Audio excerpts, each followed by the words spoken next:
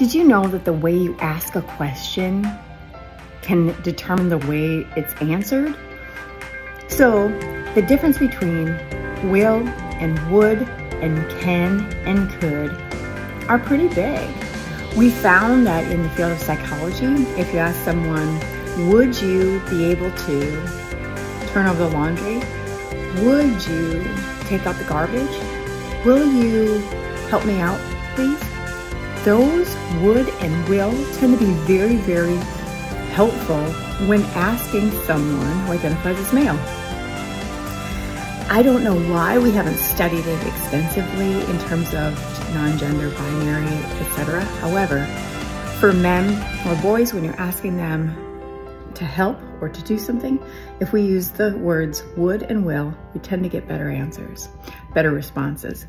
Now, for the opposite side, when we ask females or folks who identify as women, can or could you do this?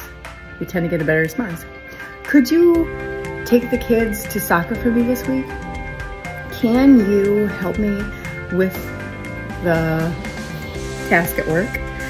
Try it out. See if it works for you. Can and could, will and would. It's all in how you ask. I'm Dr. Meredith Rausch, helping you connect better with yourself and each other.